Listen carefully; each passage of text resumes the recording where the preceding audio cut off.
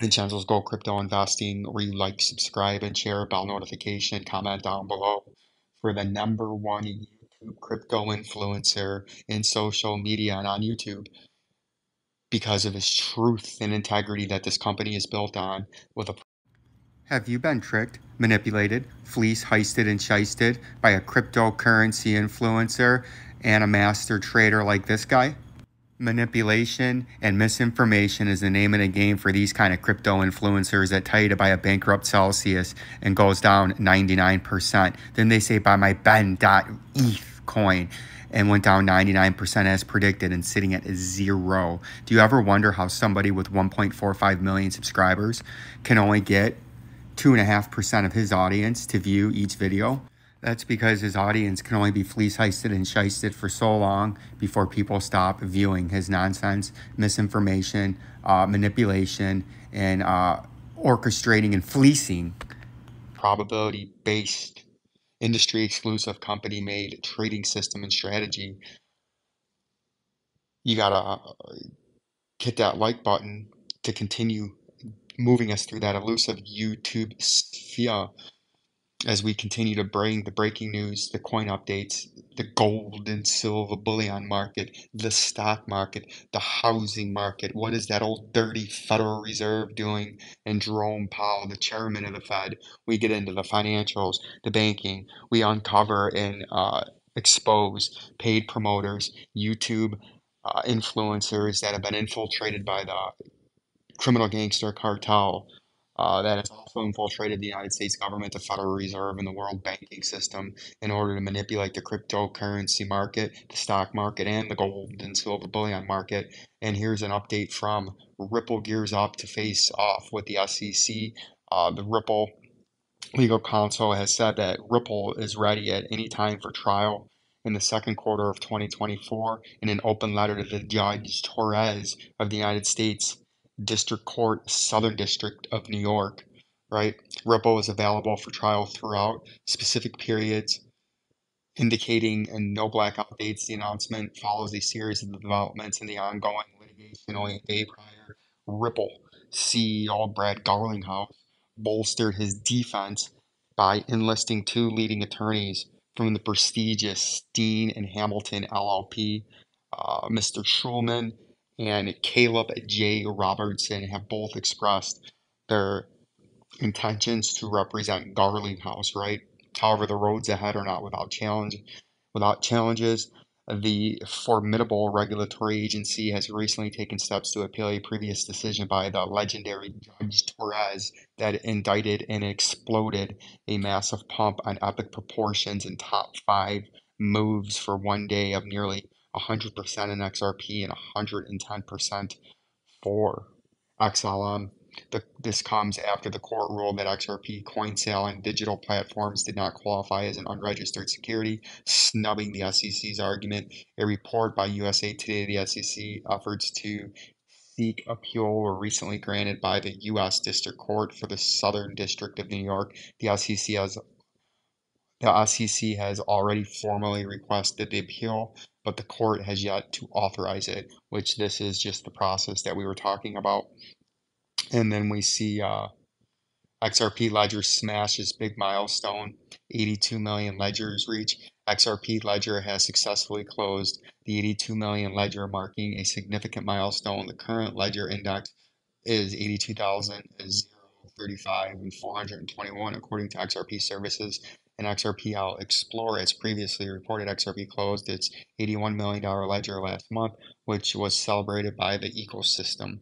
The most recent milestone suggests that XRPL added a million ledgers in just over a month, which is still a tremendous achievement. XRP Ledger, also known as XRPL, was founded in June 2012 and celebrated its 11th birthday this June. The number of XRP accounts has also reached a new high, currently standing at 4,753,489 of those 1,000, 1,082 uh, contain zero XRP, while the remaining accounts contain 54,482,221,185 XRP, right? So that's very important and very uh, very, very good news. The more people that buy, the more people that hold, the stronger the price can be. And you can see now what's going on is remember what we were talking about the last couple of days since the great dump that we were forecasting and out ahead of the crypto charlatans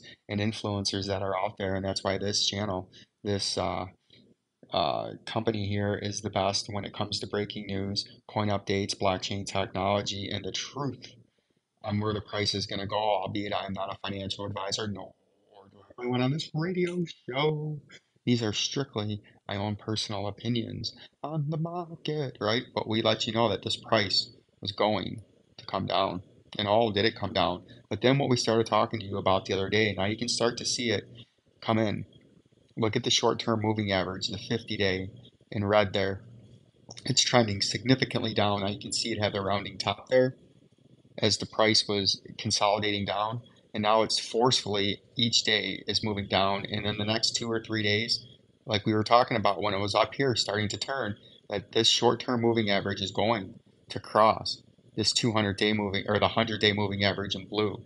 So the 50 in red is going to cross and get underneath now instead of being on top of the 100 day in blue. And then a few short days later, the 50 is going to be underneath the 100 in blue. And then it is going to cross and go underneath the 200 day.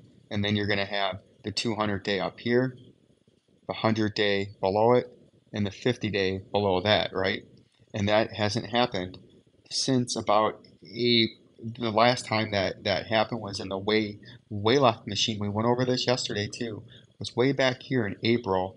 You can see even as the price was starting to level off in the daily, the short-term moving average came up and got on top of the 100-day moving average and blue briefly, but then fell back below it and then stayed below it until about March into April of 2023 and then you can see the short-term moving average skyrocket over uh, the 50-day moving average in red, skyrocketing over the medium range moving average, the 100-day in blue, and then it crossed over in early April, just on the onset of April, and got on top of for the first time uh, in a long time, got on top of the 200-day, and then it was the 50-day, the 100-day, and the 200-day below it. When the 200-day below is below uh, the 100 and then the 50 days on top of the 100, that is very bullish, telling you that the price is probably going to continue up. And you can see the price did continue up from there, right? That was your bullish confirmation. Just as when the reversal starts and you get the 50 day coming back and getting underneath the 200 day briefly here, but then rallying back on top when it came back over and rolled back over again when it came below it and finally flipped it, it got below the 100 day back here in December, and then it flipped and got below the 200 day permanently right here, right around uh, Christmas time. That told you the price was going to come down, and oh by God, did the price come down? Because from the time it flipped, right, right there, it went down at its peak, 69.94 percent. And that's something that's very, very important. And that's something that is going to happen here. But right now, what you could get is this relief rally to maybe get you back up to that 57, maybe sneak up into this major upper resistance up here at 63 cents. But the bottom part of this blue trading zone would be a better rejection area, hitting that 50 day moving average as it's coming down. And that could be a big hook nose right there. And then you could say your pattern is just continuing from here and you can just extend this out, right? you can extend these out farther and you can say this pattern is just continuing down, right? And then the next leg to the downside is down here at 37 cents. But what you want to do, what you want to have happen, and what you want to see, most importantly, and that's the daily time frame as we go into the four hourly time frame, you want to get above this descending uh, falling wedge or falling channel that we had uh, in this continuation pattern. Get on top of this, start to trade up, hit this uh, top part, bottom part of this blue trading zone.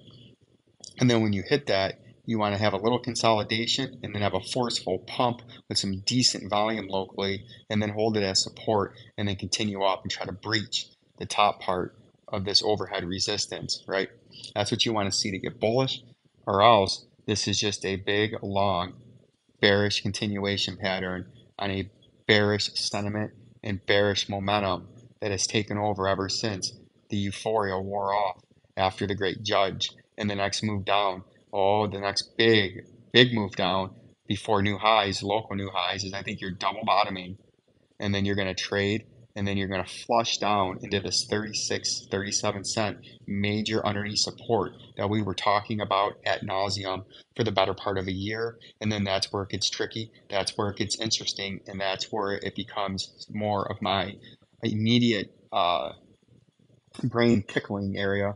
Because if it breaches that hits into this 28 to 32 cent red VP volume indicator, that is when everything gets tricky. That is when everyone's got to be on alert because if you have a huge bounce off of that, you could have a huge rally off of that. Or you could have a little rally, hit some overhead resistance, and then actually flush this 28 cents and get bearish below the VP volume indicator for the first time in a very, very, very, very long time as we zoom out into the daily time frame on the way left machine. Uh, there we go. If we zoom out on the way left machine into the daily time frame, and we got to zoom way, way out. The last time we slipped below this area was way back on the way left machine, consolidating coming off of that 2018 January uh, all-time high. We slipped below it for the first time, came back up on a retest and got rejected in early September, right? In early September.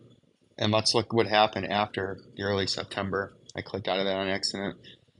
So this is going to take a couple seconds to load because I have a shitty, shitty uh, uh, hotel internet. But let's take a look at what happened here when it slipped below it finally for the first time and then got rejected on a bearish confirmation. Right there, we got the rejection. And what happened from that point? We continued and accelerated to the downside from that point, and we capitulated down 67% after the coin was already down, I don't know, 60, 50% at that point. Very important things, very important information. Like, subscribe, and share my beautiful, lovely, glowing audience. Peace and love.